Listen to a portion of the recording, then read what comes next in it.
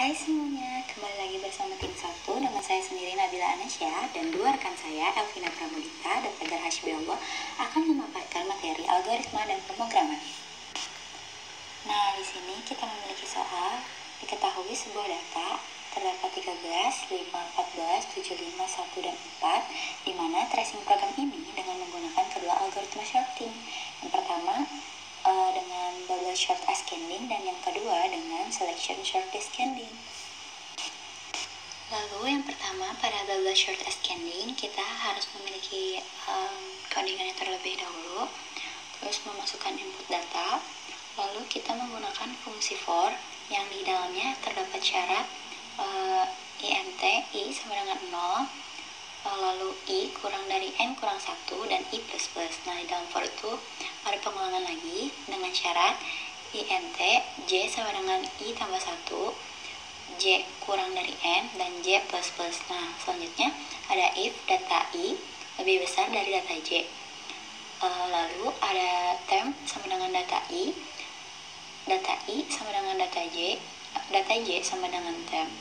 Uh, lalu program ini nantinya akan memprint dat, uh, seperti data setelah disorting menggunakan bubble short ascending dengan for int i sama dengan o i kurang dari n dan i plus plus. Lalu nanti di print uh, kita masukkan persen 4D dengan data i. Lalu uh, program tersebut akan memprint data yang kita inginkan. Selanjutnya kita akan melakukan tracing program bubble short ascending yang di mana data yang dihasilkan akan menaik secara berurutan dimulai dengan yang pertama kita tulis indeks data uh, mulai dari 0 dan berakhir di 5 nah uh, kita memiliki syarat. Karena indeks data dimulai dari 0 maka i sama dengan 0 nah syarat selanjutnya adalah i kurang dari n kurang 1 karena n nya 6 berarti uh, i-nya 0 jadi 0 kurang 5 apakah 0 kurang dari 5? ya jika ya kita lanjut ke uh, syarat selanjutnya yaitu J sama dengan I tambah 1 karena I nya masih 0 jadi 0 tambah 1 sama dengan 1 nah kita memiliki uh, syarat selanjutnya yaitu J kurang N di mana uh, J nya 1 kurang dari N nya 6 uh, karena 1 kurang dari 6 ya kita masuk ke if data i lebih besar dari j kita masukkan data 0 lebih besar dari data 1 uh, eh, kita lihat ke indeks data uh, eh, 0 sama dengan 13 lebih besar dari 1 sama dengan 5 apakah 13 lebih besar dari 5 ya kita masuk ke term sama dengan data i sama dengan 0 kan? Karena data 0 adalah 13 lalu kita masuk ke data i sama dengan data j. Data i adalah 0 sama dengan data 1 adalah 5 selanjutnya ada data j di mana kita isi 1 sama dengan tem 13 nah kita temukan indeks array uh, 0, 1, 2, 3, 4, 5 secara berurutan.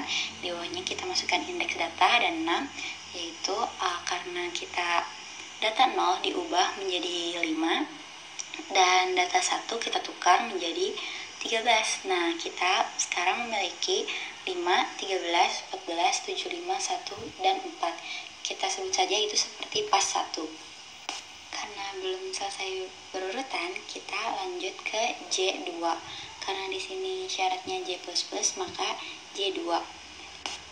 Apakah 2 kurang dari 6? Ya. Kita masuk ke if data i lebih besar dari data j. Data 0 lebih besar dari data 2 di mana data 0 sama dengan 5 lebih besar dari data 2 sama dengan 14 5 apakah lebih besar dari 14? tidak. Nah kita kembali lagi ke J3 selanjutnya J3 di mana 3 kurang dari 6 ya kita masuk lagi ke if. Data I lebih besar dari data J. Data 0 lebih besar dari data 3 5 apakah lebih besar dari 75? tentu tidak. Lanjut kita ke J4 apakah 4 kurang dari 6? ya kita masuk lagi ke if if data i lebih besar dari data j. Data 0 lebih besar dari data 4 apakah 5 lebih besar dari 1 ya kita masuk lagi ke term sama dengan data i.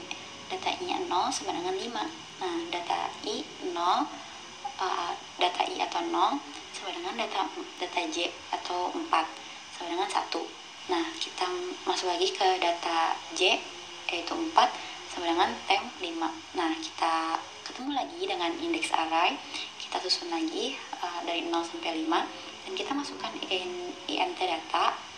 Uh, kita ganti uh, data 0 kita ganti menjadi 1 dan data keempat kita ganti menjadi 5 nah uh, kita punya susunan baru yaitu 1, 13, 14, 75, 5, dan 4 nah kita sebut lagi itu termasuk ke pas 2 Lang langsung kita lanjutkan ke J, J5 apakah 5 kurang dari 6 ya kita masuk lagi ke if data i lebih besar dari data j. Uh, data 0 lebih besar dari data 5 apakah satu lebih besar dari 4 tidak. Uh, karena tidak kita ulang lagi ke J6 apakah 6 lebih eh, apakah 6 kurang dari 6 tentu tidak. Nah maka kita lanjut ke I sama dengan 1 nah karena I sama dengan 0 selesai masuk ke I sama dengan 1 kan?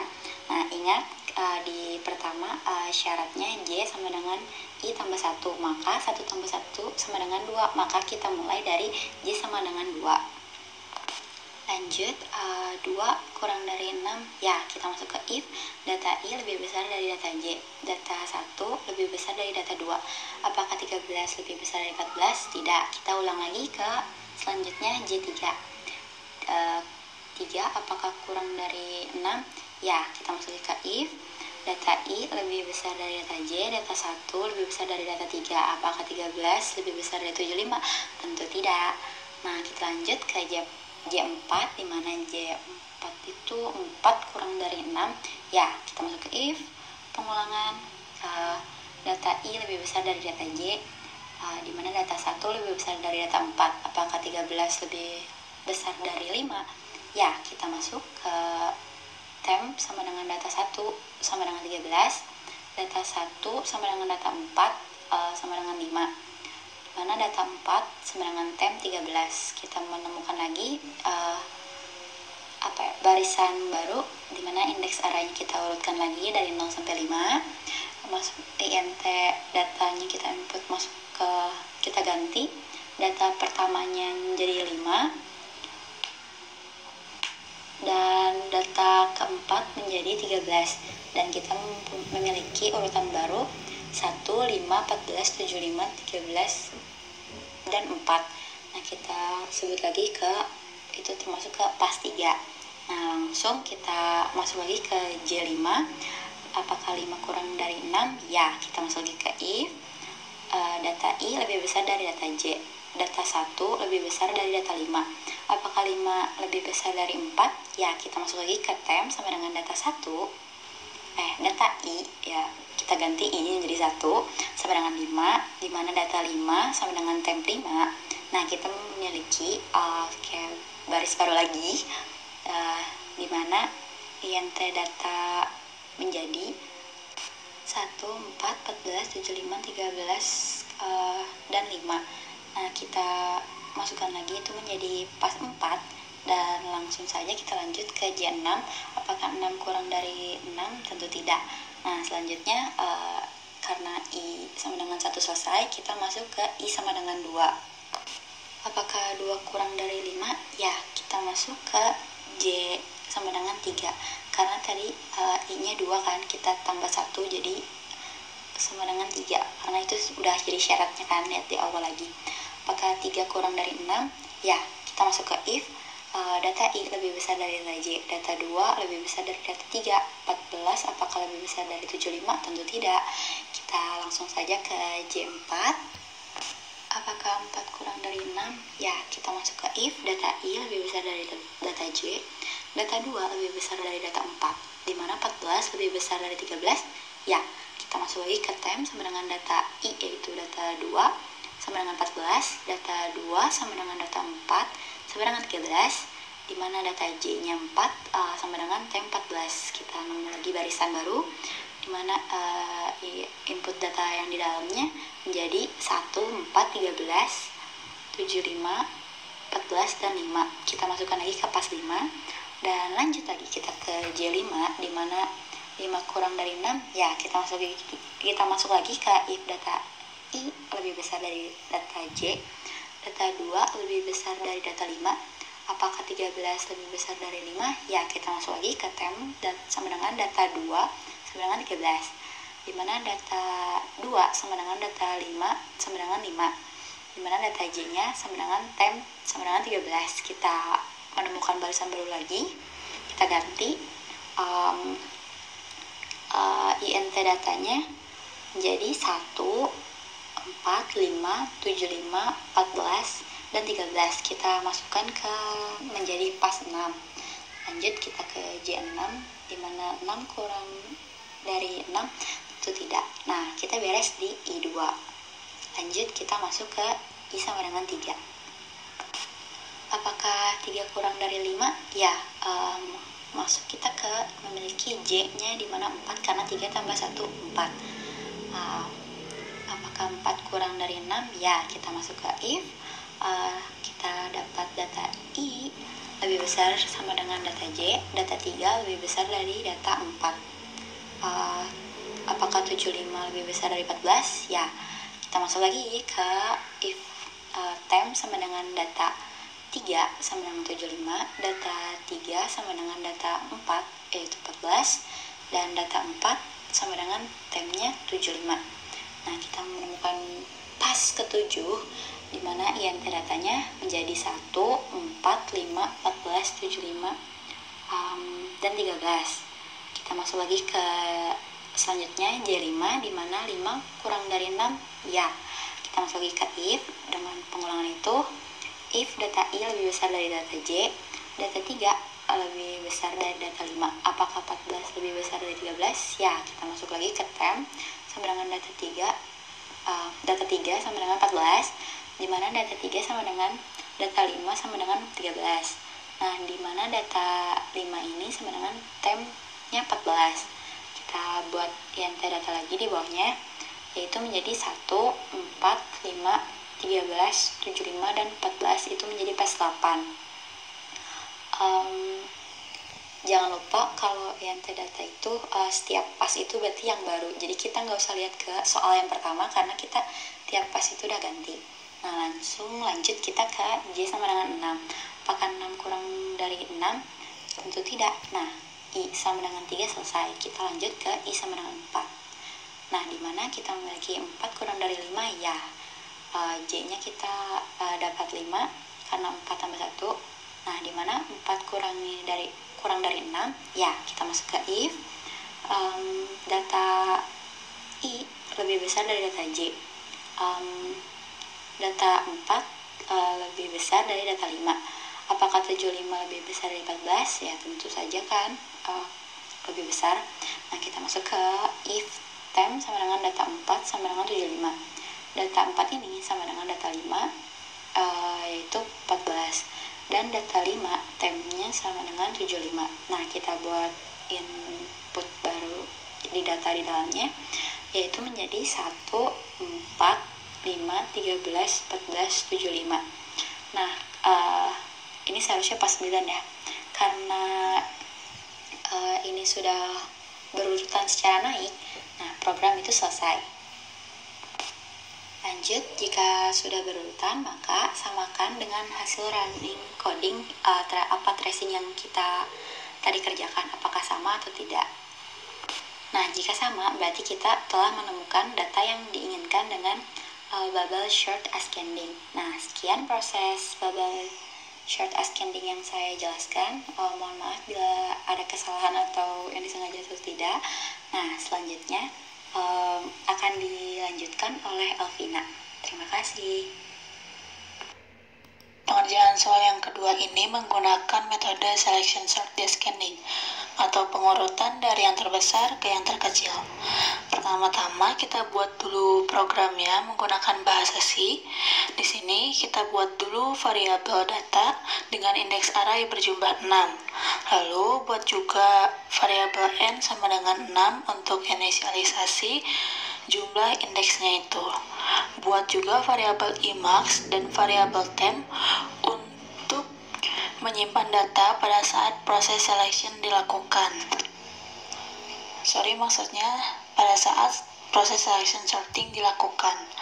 Nah, masuk ke proses sortingnya ini menggunakan fungsi for, di mana di sini fungsi for-nya ada dua. For yang pertama ini untuk pengulangan i atau i++ dan for yang kedua ini untuk pengulangan j++.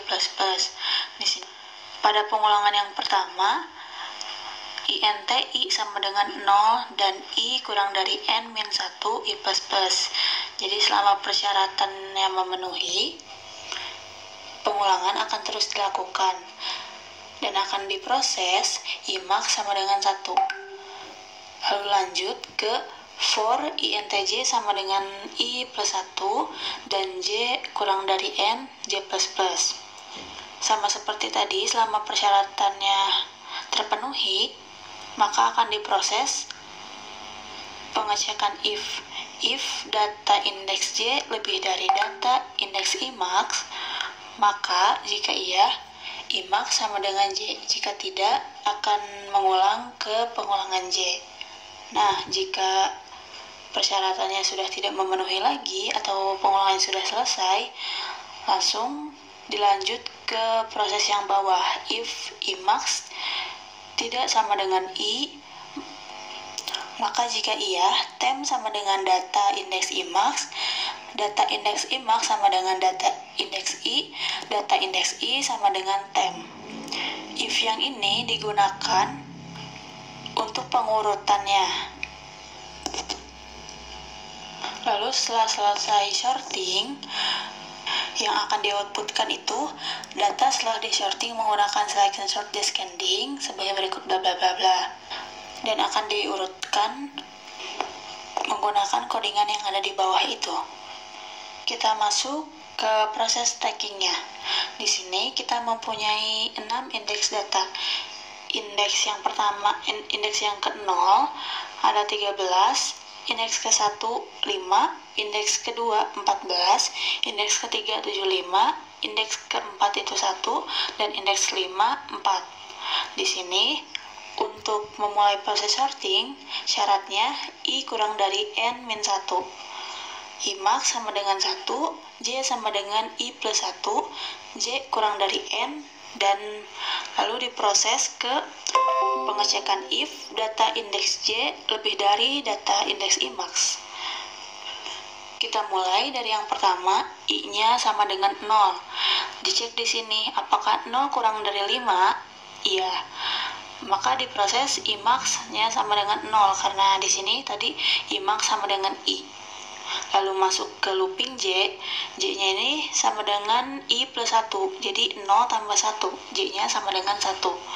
Dicek lagi di sini, apakah 1 kurang dari 6? Iya, maka langsung masuk ke pengecekan yang if. Data indeks 1 apakah lebih besar dari data indeks 0? Data indeks 1 itu berapa sih? Data indeks 1 itu 5 dan data indeks 0 itu 13. Jadi apakah 5 lebih dari 13? Karena tidak, maka mengulang kembali dan masuk ke J sama dengan 2. Dicek lagi di sini apakah 2 kurang dari 6?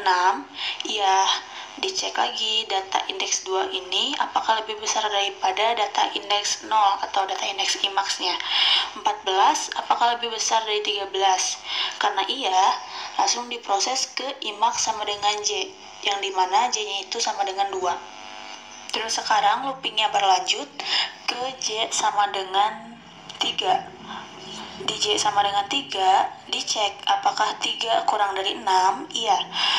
Dicek data indeks 3 apakah lebih besar daripada data indeks 2 data indeks 3 ini 75 dan data indeks 2 ini 14 jadi apakah 75 lebih dari 14 karena iya lanjut ke IMAX sama dengan J atau jadi sekarang IMAX yang asalnya 2 sekarang berganti jadi 3 nah looping ini terus berlanjut sampai tidak memenuhi persyaratan di mana looping J selesai di 6 kurang dari 6 karena tidak memenuhi persyaratan, jadi langsung masuk ke proses if IMAX tidak sama dengan I.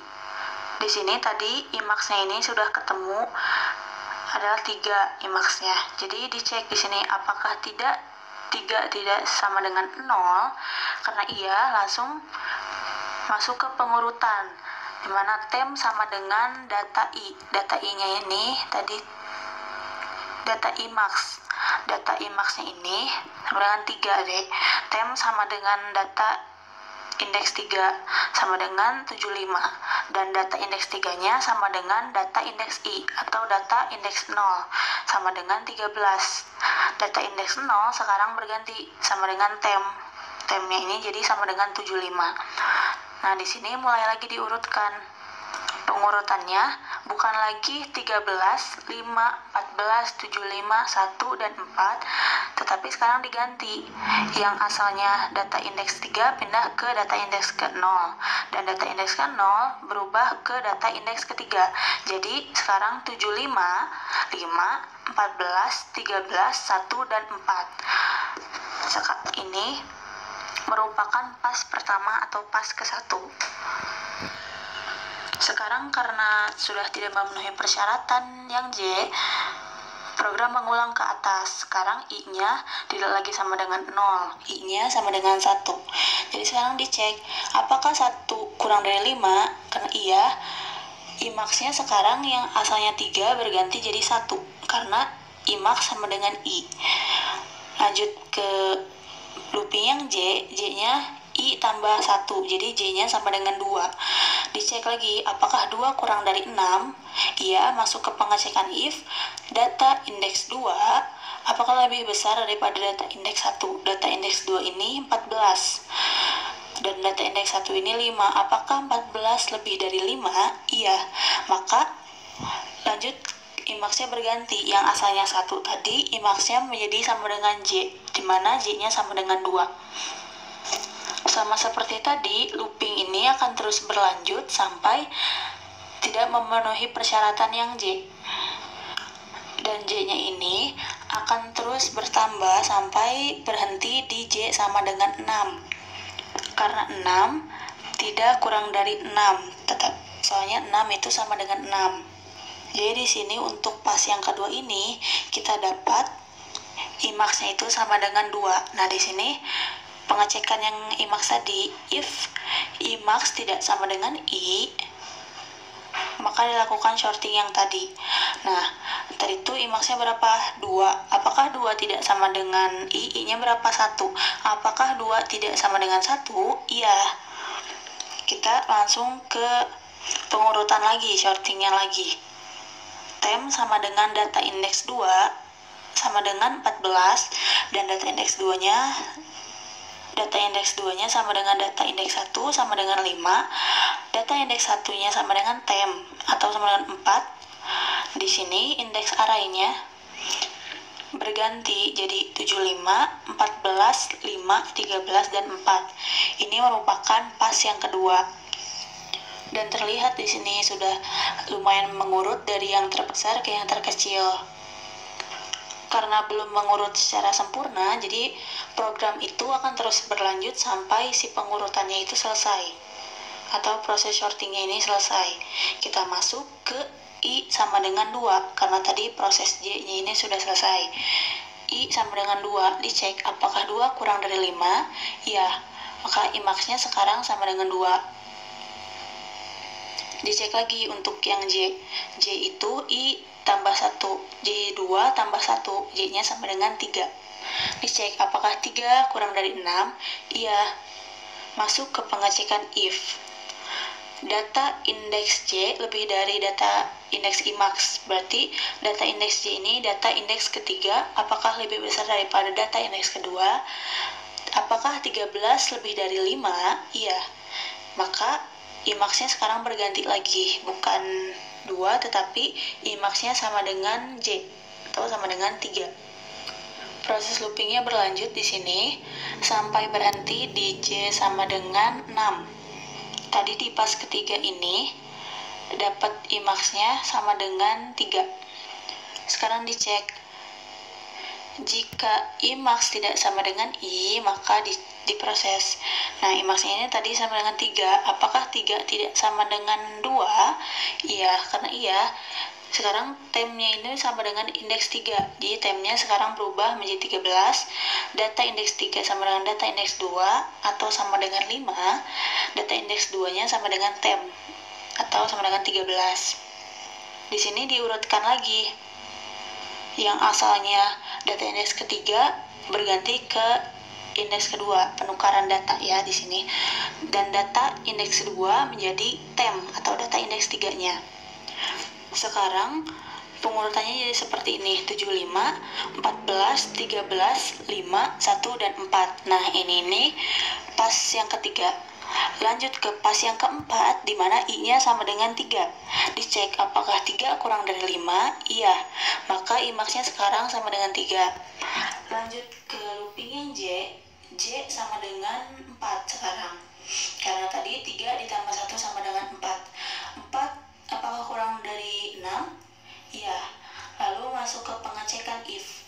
Jika data indeks keempat lebih dari data indeks ketiga, maka IMAX sama dengan J ya kan. Sekarang data indeks ke J nya ini sama dengan data indeks keempat. Apakah lebih dari data indeks ketiga? Di sini e, data indeks keempatnya ini satu. Apakah satu lebih dari lima? Tidak kan? Jadi e, ulang lagi ke atas J nya sama dengan 5 sekarang. Apakah 5 kurang dari 6 iya kan iya. Dilanjut pengecekannya. Jika data indeks 5 apakah lebih dari data indeks 3 di mana?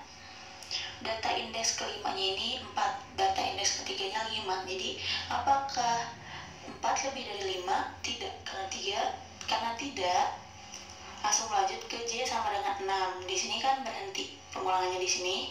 Nah sekarang kita masuk ke pengecekan if yang IMAX tadi. Jika IMAX tidak sama dengan i maka diproses tadi yang e, pengurutan datanya. Sekarang imaxnya ini berapa sih? Kita dapat imaxnya ini tiga. Karena di pas yang ketiga imaxnya hanya mendapatkan dari yang awalnya saja dari yang i. Karena tidak jadi if-nya berhenti sampai di situ dan programnya ini mengulang ke atas di mana i-nya sama dengan 4 dicek di sini. Apakah 4 kurang dari 5 iya maka sekarang imaxnya sama dengan 4 dan J nya sama dengan 5 di sini dicek lagi apakah 5 kurang dari 6 iya lalu masuk ke proses if. Apakah data 5 lebih dari data indeks keempat data indeks kelima itu 4 dan data indeks keempat ini satu. Apakah 4 lebih dari satu? Iya maka imaxnya yang tadinya 4 menjadi 5 karena J nya sama dengan 5 lanjut ke J